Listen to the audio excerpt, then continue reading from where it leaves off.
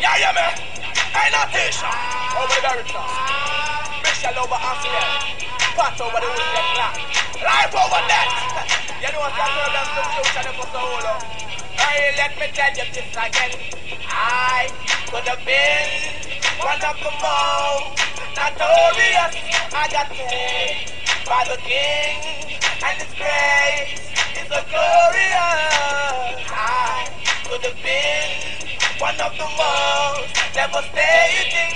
I got saved by the king and his love is everlasting. Whoa, burn away the wicked lifestyle on the wicked image on the wicked man and profile. I'm so happy to be Rastafari style and may overcome the wicked with just a smile. Then me start to live my life and to think worthwhile in a love and harmony. I try not to be.